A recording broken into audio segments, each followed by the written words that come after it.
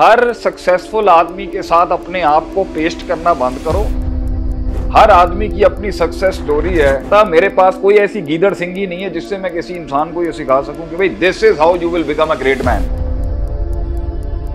सवाल ये उठता है कि सब कुछ जला के, सब कुछ बर्बाद करके सारा वक्त और रिसोर्सेज ज़ाया करके, सारा कुछ इंसानों के बारे में, खुद के बारे में और अल्लाह के बारे में सब कुछ बर्बाद करके ही सीखना है तो ठीक है फाइन अगर फिर बाद में डिसरप्शन आए, अल्लाह का मुआवजा थोड़ा लेट आए, या ज़िंदगी के अंदर चरखा थोड़ा लेट चले, फिर कंप्लेन नहीं करना बेटा.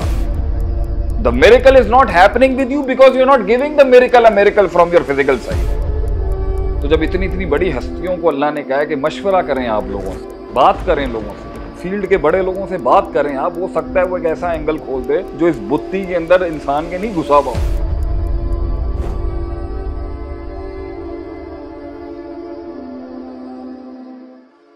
हर सक्सेसफुल आदमी के साथ अपने आप को पेस्ट करना बंद करो। This analogical pasting of you being with every successful man this is not rational is not practical and this is not suitable हर आदमी की अपनी सक्सेस स्टोरी है।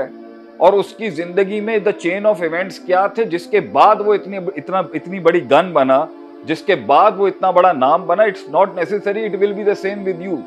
you are unique in your self and I am unique in my self and everybody is unique in their own self सवाल ये उठता है कि सब कुछ जला के, सब कुछ बर्बाद करके, सारा वक्त और रिसोर्सेज ज़ाया करके, सारे सर झुका के, सबको पैरों के नीचे ला के रिलेशनशिप मैनेजमेंट बर्बाद करके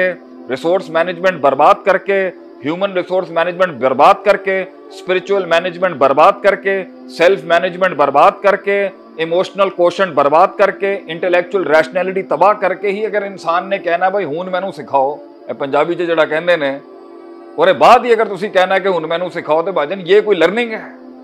सिविलाइजेशनल वॉर के अंदर जहाँ हमारा बच्चा और उनका बच्चा जो है, इस टाइम पर 300 साल का फ़र्क है हमें और उनमें। क्या इतना बर्बाद करने के बाद अगर ये कहना है कि हाँ भाई मुझे बताओ रिश्ते क्या होते हैं, ताल्लुकात क्या होते हैं कम्युनिकेशन स्किल्स क्या होती हैं कोऑर्डिनेशन क्या होती हैं, अदब क्या होता है कल्चर क्या होता है, तमीज़ क्या होती है, अदब क्या होता है सेलिंग क्या होती है मार्केटिंग क्या होती है प्रिक्योरमेंट क्या होती है पिचिंग क्या होती है टारगेटिंग क्या होती है आर्बिट्रेशन क्या होती है हायर ईबल लेसर ईबल क्या होता है कॉम्प्रोमाइजेस क्या होते हैं एनालिसिस क्या होता है? अगर ये सारा कुछ इंसानों के बारे में, खुद के बारे में और अल्लाह के बारे में सब कुछ बर्बाद करके ही सीखना है तो ठीक है fine it's your call it's your choice अगर फिर बाद में डिसरप्शन आए, अल्लाह का मुआवजा थोड़ा लेट आए, यूसुफ अलैहिस्सलाम की कैद आए, या ज़िंदगी के अंदर चरखा थोड़ा लेट चले, फिर कंप्लेन नहीं करना बेटा। कंप्लेन नहीं करना कि भाईजान the miracles are not falling down from the heaven तीन सौ हज़ार को जंगे बदर में जो जो मेरिकल हुआ था,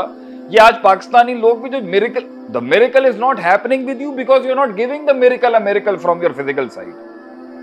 तो इसलिए मैं आज यहाँ बात करने से पहले ये बेसिक इंट्रोडक्शन ये देना चाहता था। मेरे पास कोई ऐसी गीदड़ सिंगी नहीं है जिससे मैं किसी इंसान को ये सिखा सकूँ कि भाई this is how you will become a great man हाँ कुछ चीज़ें हैं जो 20 साल के सफ़र में हमने सीखी और वो सोने के हरूफ से लिखने वाली है, जिसके लिए अमेरिका से ऑस्ट्रेलिया तक दुनिया इज़्ज़त करती है एहतराम करती है हमारा। बड़े बड़े बड़े बड़े लोग मशवरा करते हैं हमसे कि शेख साहब, आप बताएँ इस मसले में आपका क्या टेक है। तो ज़िंदगी के अंदर अल्लाह जय की नबी जैसी बड़ी हस्ती को भी अल्लाह ने कुरान में फरमाया, आसमान से बशाब रोम फिलमर आप सल्लम का इंटेलेक्ट आप सल्लम की स्पिरिचुअलिटी आप सल्लम की रैशनैलिटी आप सल्लम का ज्ञान, आप सल्लम की रूहानी ताकत, आपका शूर आपका इल्म, आपका अखलाक आसमानों तक था। फिर भी अल्लाह फरमा रहा है कुरान में, वशावर home talk to the people around you क्या पता एक ऐसा एंगल खुल जाए जो नहीं एक माइंड से गुजरा हो। तो जब इतनी इतनी बड़ी हस्तियों को अल्लाह ने कहा कि मशवरा करें आप लोगों से, बात करें लोगों से, फ़ील्ड के बुज़ुर्गों से बात करें आप, फ़ील्ड के बड़े लोगों से बात करें आप हो सकता है वो एक ऐसा एंगल खोल दे जो इस बुत्ती के अंदर इंसान के नहीं घुसा हुआ तो अगर आज का बच्चा और आज का यूथ और आज के जो फ़ील्ड में लगे हुए बच्चों को ये लगता है ना कि भाजन ऐसे ही गूगल डॉट कॉम देते पूरा पीएचडी डॉक्टरेट भी कर लेंगे। भाई आज का पीएचडी भी जो है ना प्रैक्टिकल मैदान में नहीं काम कर सकता। प्रैक्टिकल दुनिया एक्सपीरियंशियल दुनिया is a different stake theoretical academic दुनिया इज़ अ डिफरेंट स्टेक